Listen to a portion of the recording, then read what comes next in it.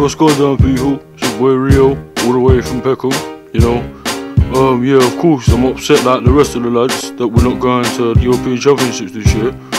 Um, but personally, I blame Steve McClaren, you know. Um, he ain't got MySpace for a start, you know. You're not serious if you ain't got MySpace, you know. Um, but yeah, like, obviously, I'm gonna spend my summer on the beach, you know. Play football on the beach, you know. Obviously, get better, you know. But anyway, it's alright.